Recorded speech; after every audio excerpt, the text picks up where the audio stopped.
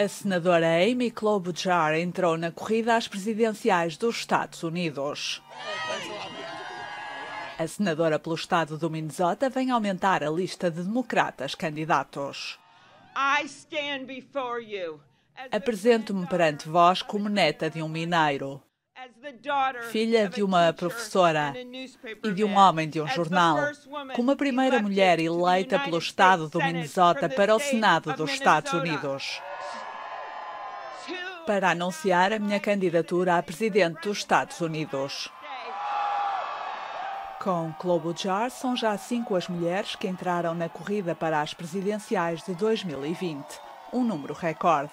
Há várias senadoras conhecidas, como Elizabeth Warren, de Massachusetts, Kamala Harris, da Califórnia, e Kirsten Gillibrand, de Nova York.